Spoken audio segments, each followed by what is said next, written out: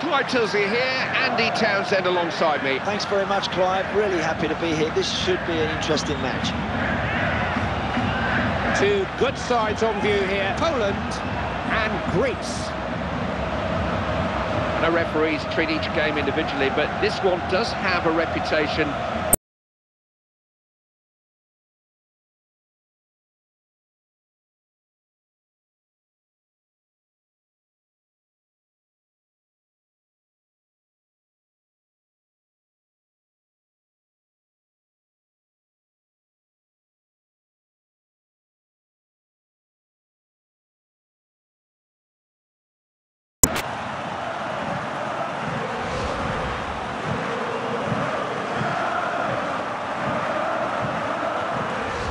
goal that's put Greece ahead in this one, just where they want to be.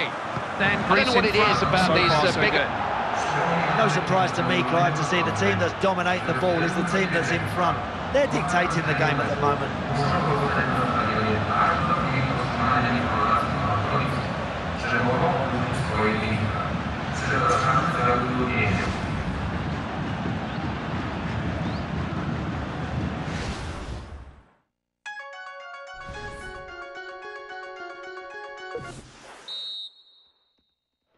It's uh, Greece kick off the second half. Their manager won't have had to say too much to them at the break.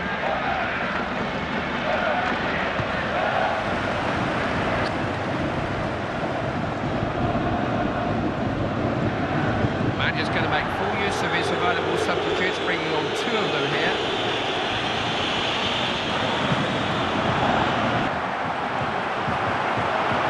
Got a chance. Oh, what a hit!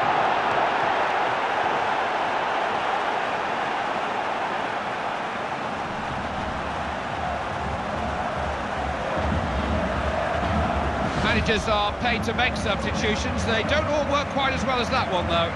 That's a brilliant goal. Once he gets beyond them last defenders, you're not going to catch him. You're not going to stop him from scoring today. They won't fall in for that one. There's the whistle.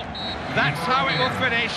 Full time. I think if you're looking for a man of the match here, Andy, you're probably looking at a defender, are you? I think so, Clive. I just thought they looked very confident the way they defended, and, and basically that gave the team the right to then go forward and win. It's our pleasure to bring these games to you. Until the next one, take care.